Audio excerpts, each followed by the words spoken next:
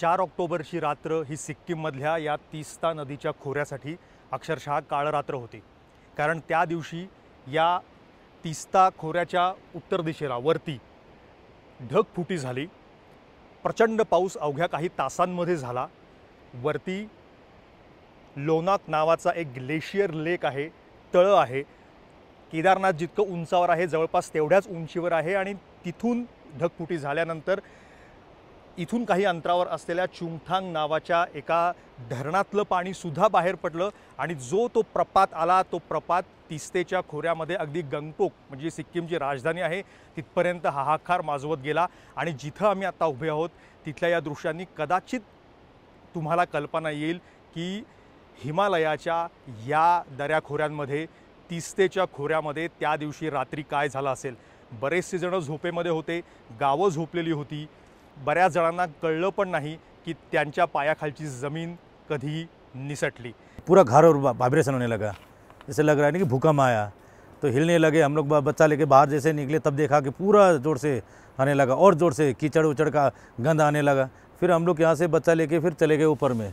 जंगल जंगल गए, अंधेरे में थे टॉर्च जला के जंगल जंगल बारिश भी हो रही थी जाते जाते जाते ऊपर में जाके लास्ट में गए तो एक जगह मैंने बोला, मैडम तो बहुत डरी हुई थी। तो मैं मैं रुक जाते रुक जाते रुक जाते बोलते बोलते बोलते लास्ट में हम रुके वहाँ पे। छोटा सा पत्थर का गुफा था, गुफा के अंदर पूरा रात भर गुजारे। मेरे घर को अभी पूरा ध्वस्त हो गया है, वहाँ से जैसे ऊपर से पानी बढ़ के आया तो नीचे से मिट्टी खोदा तो घर धंसना शुरू हो गया है। और धंस के पूरा मतलब तहस नहस हो रखा अभी रहने का लायक तो नहीं रहने का छोड़िए वहाँ जाने का लायक भी नहीं है सर खड्डा उड्डा रखा है आम्ही आता हा सगळा बहुतांश जो भाग झाला आहे हा उत्तर सिक्कीम म्हणजे नॉर्थ सिक्कीमच्या भागामध्ये झालेला आहे. आणि तिथं येण्यासाठी जवळपास थोड्या अंतरावर आल्यानंतर गाडी सोडावी लागते कारण बरेचसे रस्तेही वाहून गेलेले आहेत. आणि आम्ही सुद्धा इथपर्यंत दोन डोंगर चढत एक छोटासा ट्रेक करून इथपर्यंत आलो आहे रिचू नावाचं एक छोटंसं तिस्तेच्या काठाचंच एक गाव आहे. आणि त्या गावाचा हा जो सगळा संपूर्ण पुढचा भाग दिसतो याच्यावर एवढ्या जोरात पाऊस होता की तिस्तेचं पाणी तर वर चढलंच पण शिवाय पाऊस एवढा जोरात होता की बऱ्याच वर्षांपासून जे मोठे दगड अजूनही हिमालयामध्ये व्यवस्थित टिकून होते ते सगळं घेऊन खाली गेले आणि इथं जवळपास सव्वीस घरं आहेत असं आम्हाला सांगण्यात आलं. या सगळ्या बहुतांश घरांचं नुकसान झालं. लोक कसेबसे जीव आपला वाचून परत आले आणि त्यातलेच हे सगळे बोल्डर्स अजूनही पडलेले आहेत. इथून मी जिथं वरती आहे तिथं एक महत्त्वाचा रस्ता जो आहे जो थेट पुढे गा चुंगथांगकडे जातो म्हणजे जिथं धरण आहे त्या भागामध्ये जातो पण तो रस्ताही पूर्णपणे आत्ता तुटलेला आहे. आम्ही इथं जि गंगटोकहून जवळपास तीन तासांचा प्रवास करून आला आलो पण तिथं बऱ्याच ठिकाणी रस्ते अजूनही तुटलेले होते गाड्या जाऊ शकत नाही आहेत आणि जे काही इथपर्यंत रेस्क्यू ऑपरेशन किंवा मदत पोहोचवली जाते आहे लोकांना चालत जावं लागतंय किंवा दर काही वेळाने वरनं आम्हाला हेलिकॉप्टर्स जाताना पाहायला मिळतात कारण अजूनही आतल्या भागामध्ये बऱ्याच ठिकाणी मदत पोहोचलेली नाही आहे लोक अडकलेले आहेत. हा सगळा भाग पर्यटकांच्या आवडीचा असल्यामुळं पर्यटकसुद्धा बरेचसे अडकलेले आहेत आणि त्यांना एअरलिफ्ट करूनसुद्धा अजूनही रेस्क्यू केलं जात आहे. एकंदरीत जर सिक्कीम सरकारचा आकडेवारी बघितली तर वीसहून अधिक पूल या नदीवरचे ते अक्षरशः वाहून गेले एवढा मोठा प्रपात होता. पलीकडच्या गावांचा संपर्क तुटला आणि ते अजूनही पलीकडच्या बाजूला अनेक गावं लोक अडकून आहेत आणि त्यांना नदी क्रॉस करून खाली उतरून सामान जे आहे जेवणाचं त्यांना तिथं राहण्यासाठी टिकण्यासाठी नेलं जातं आहे. काही ठिकाणी एअरड्रॉपसुद्धा केलं जातं आहे. इथं आम्ही जेव्हा आलो तेव्हा रेस्क्यू कॅम्प केलेत जवळपास वीसहून अधिक रेस्क्यू कॅम्प इथं अजूनही संपूर्ण नॉर्थ सिक्कीममध्ये चार जिल्हे बहुतांश प्रभावित आहेत.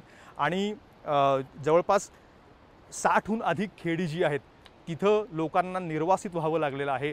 वीसहून वीस हजारहून अधिक लोकांना फटका बसलेला आहे. त्यातल्या अनेकांना माहिती नाही की आता आपण आपल्या परत घरी राहायला जाणार आहोत किंवा नाही. पण या रेस्क्यू कॅम्पमध्ये ते राहत आहेत त्यांना खायला प्यायला दिलं जात आहे. आणि पुढच्या भवितव्यावर अजूनही त्यांच्या अंधारच आहे. समजत नाही काय होणार. नीचे आके देखा तो पूरा फाटने मेरा घर पूरा अभी दस नस हो गया है. अभी कुछ बचा नहीं है मेरा. आधा सामान वहीं अभी चिपक गया है घर भी चिपक गया है. थोड़ा हम लोग को डॉक्यूमेंट ये चेंज करने वाला कपड़ा थोड़ा ही हमने निकल पाया।